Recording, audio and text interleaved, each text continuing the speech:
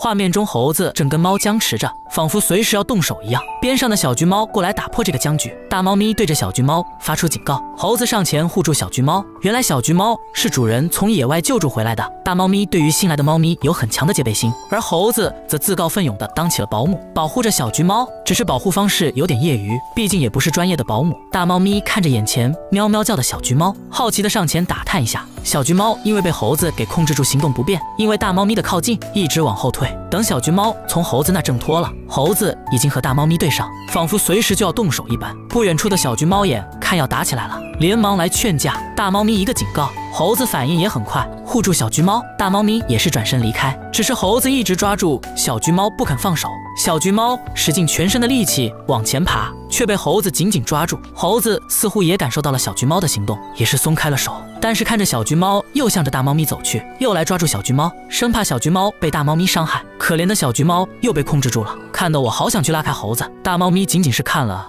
他们两个一会就离开了。随着大猫咪的离开，猴子渐渐的也放松了警惕，松开小橘猫，照顾起另一只小橘猫。